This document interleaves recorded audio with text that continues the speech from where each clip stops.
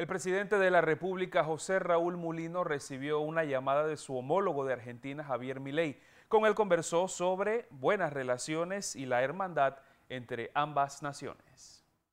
Señor presidente, gusto en oírle. Buenos días. ¿Qué tal, qué tal, presidente? ¿Cómo le va? Bien, aquí empezando a trabajar el primer día con mucho ímpetu, siguiéndole su ejemplo. Qué gusto enorme, bueno, tener la posibilidad de, de felicitarlo y, y, bueno, de desearle lo mejor en, en- en los que tiene que enfrentar. No, no, le agradezco muchísimo. La llamada Argentina para nosotros es muy importante y sobre todo en el vuelco que usted le ha dado a la política argentina, que tiene mucho en común con el vuelco que yo tengo que dar aquí para parar corrupción y para parar la fiesta de millones que nos endeudó en 50 mil millones de dólares. Así estamos arrancando mi primer día de presidente con menos 50 mil millones en el tanque y evidentemente que tengo que hacer una limpieza muy profunda y créame lo que he seguido mucho su discurso, yo no tengo la capacidad de pasar una ley como la que usted pasó, pero me hubiera encantado, sin embargo, en la parte operativa sí tengo que recoger mucha plata que se vota aquí todos los días. Bueno, yo lo que le puedo decir es, si usted le va y le dice a la gente lo que recibió y hace el ajuste, la Sí. gente acompaña. Sí, señor. O, o sea, digo, eso es lo que yo le podría comentar de, de- de mi Sí, experiencia. claro que sí. Es decir, yo le, le hablé a la gente con, con, con la verdad desde el primer día y le dije, voy a hacer esto, va a doler, pero es el camino... Yo lo hice ayer, en mi discurso de ayer lo hice, Exacto. para que desde el primer día estemos claros, ¿no? que lo que va a pasar aquí es un ajuste grande y no estoy pegando mentiras, tengo que hacerlo porque, porque, porque tengo que hacerlo, tengo que sobrevivir y tengo que, que- que- que no perder el grado de inversión que para nosotros es muy importante.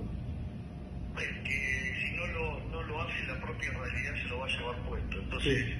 eh, es un falso dilema. O Sí, sea, señor. uno tiene, porque si no ajusta, termina mal. Entonces, Total.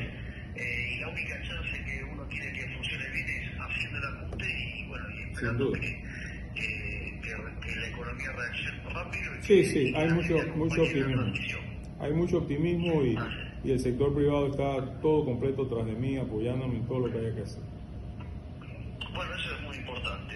Sí, o sea, si logra que rápido lo acompañen con inversión, Sí, eh, es menos doloroso el, el- el efecto del ajuste. así es.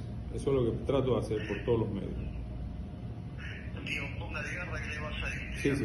Eh, Sí, sin si lo hace con convicción, los va a convencer. Así, es, así es. Le, Gracias, de presidente. Nombraré un embajador a Argentina de, de primer nivel también para que tenga con usted un representante de Panamá de primer nivel y muy cercano a mí. Fantástico, fantástico. Eh, Un fuerte estamos abrazo. Contacto, cualquier cosa, eh, nos ponemos en contacto. Ya usted tiene mi, usted tiene mi teléfono y aquí a la orden en lo que usted necesite y ojalá lo tenga pronto por Panamá. Sí, sí, lo voy a, lo voy a, voy a conseguir hacer una escala en Panamá y visitarlo. Así que Perfecto. cuando eh, esté en el muro de esos viajes, Usted me dice y aquí lo recibo y conversamos. te lo planteo. Gracias, presidente. Será un No, placer. Por favor, eh, la mejor de las suertes y un gran abrazo. Igualmente, presidente. Se le quiere y hasta luego. Gracias. Chao.